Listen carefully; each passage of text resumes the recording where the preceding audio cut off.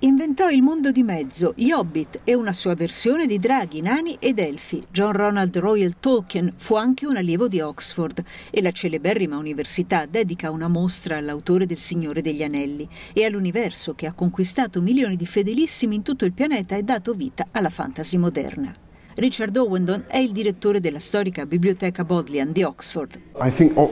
Really to, um, Penso che questa università sia stata la cornice perfetta che gli permise di sviluppare il suo genio letterario.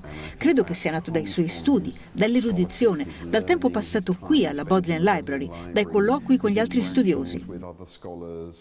Oxford quindi come culla della fantasia di Tolkien, della cura minuziosa con cui costruì il suo universo fantastico, popolato di strane creature, generosità, guerre e tanta geografia descritta nelle sue mappe quasi ossessive, le vallate morbide degli hobbit che ricordano Oxford, le misteriose montagne dei conflitti che pescano nella tradizione nordica. Catherine McIlwain è fra i curatori della mostra. Una delle cose più belle è che possiamo portare gli appassionati al di là del cinema e delle interpretazioni che qualcun altro ha dato di Tolkien, per mostrare le sue opere originali e quindi le carte originali disegnate da lui e tutti i disegni che creò mentre scriveva.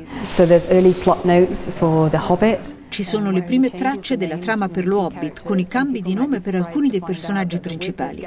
Così scopriamo che Gandalf il mago all'inizio si chiamava Bladolfin e il capo dei nani Thorin si chiamava Gandalf. Chi l'avrebbe mai detto?